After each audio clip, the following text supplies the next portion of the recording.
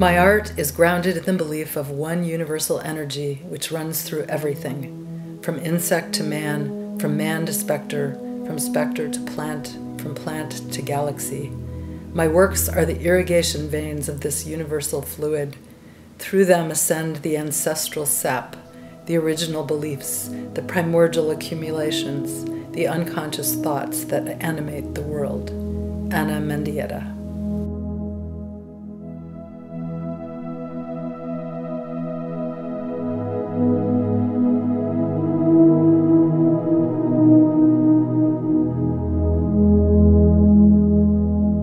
An essay by Shana Nys Dambrot from the book Cracks in the Light.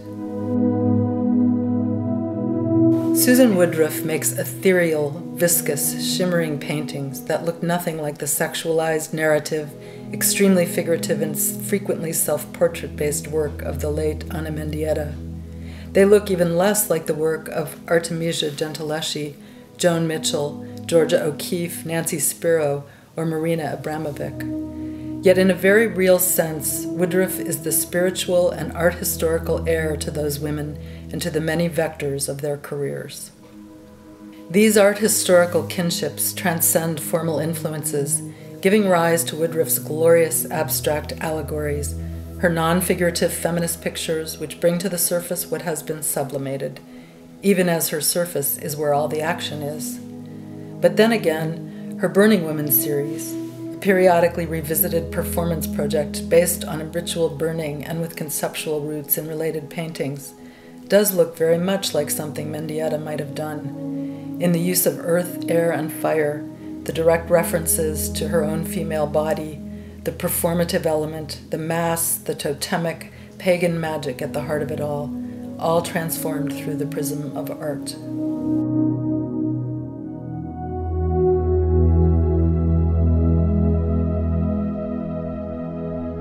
So, how can Woodruff have ancestors like those and yet make such lyrical, sumptuous, aggressively beautiful work?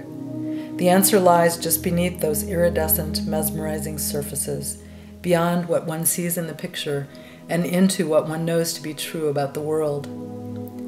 Sometimes I feel like I'm channeling the universe, working in a kind of trance like deep meditation. In the studio, I also use my body, but to paint instead of burn.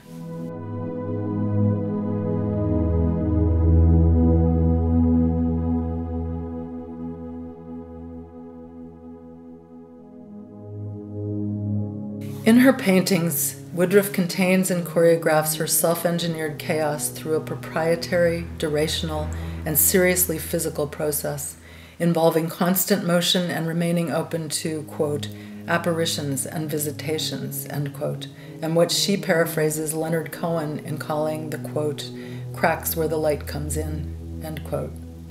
Her micro macro fractal friendly point of view hinges on her belief in the essential interconnectedness of all light and all darkness, all space and all matter, and that includes living beings.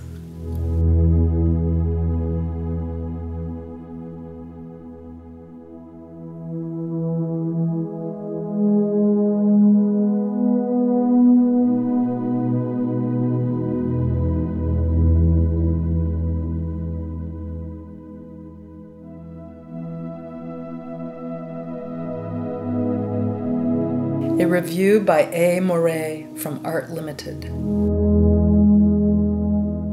Beneath the acrylic veneer of Suzan Woodruff's paintings, there is a palpable tension where the expert handling of the medium conceals the weight of the subject. The delicate handling of lush and luminous brushstrokes mimics the intricacies of an abalone shell. The algorithm of the universe seems to be contained within each canvas.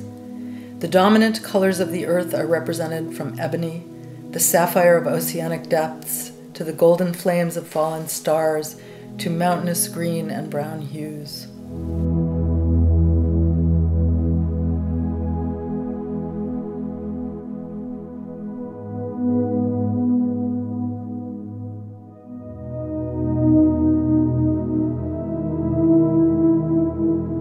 Yet in most of this current body of work, a stark contrast between dark and light predominates.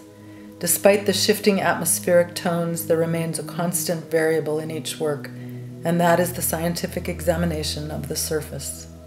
Woodruff's attention to detail reveals the depth of her desire to explore and discover the mystery of each square inch of canvas. The paintings are marked by a rich pearl texture that peaks and falls with an orchestral cadence that is both subtle and dynamic. Its nebulous forms evince a cyclonic momentum. Observing them, the eye falls into a trance and we become lost in the rhythm of the paintings. This trance, however, temporarily delays our realization that the beauty of Echo Maker is not just the sweeping surfaces, but also the melancholic atmosphere represented.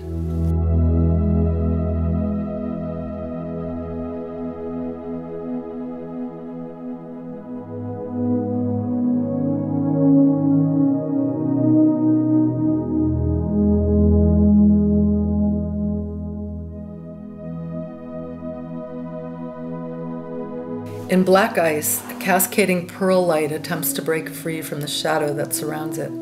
The dichotomous dark and light colors fight against each other so that we cannot determine if we are in the wake of a magnificent apocalypse or if we are in the midst of a cataclysmic change. The intensity of the incandescent pearl grows more intense in the middle of the composition, but does the light continue or will it recede into darkness?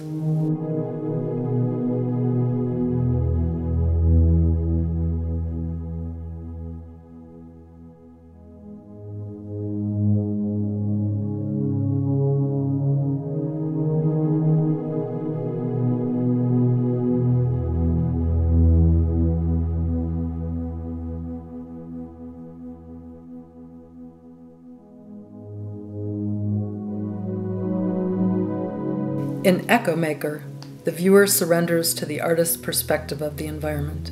Are we looking at a landscape from above at a great distance, or are we part of the abstraction? Woodruff carefully obscures our sense of time. Are we witness to the memento mori or the aftermath of an earthly destruction? Either way, the echo presented in these works is visceral, devastating, and beautiful.